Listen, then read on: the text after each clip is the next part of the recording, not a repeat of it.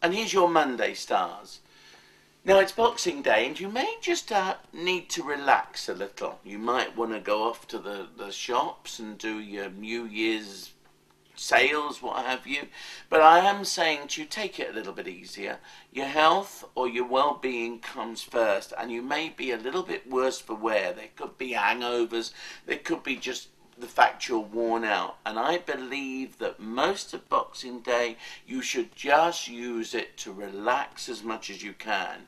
If you want to have fun, then make it much more this evening when you go out and, I don't know, you might go out for a meal, you might go out for entertainment.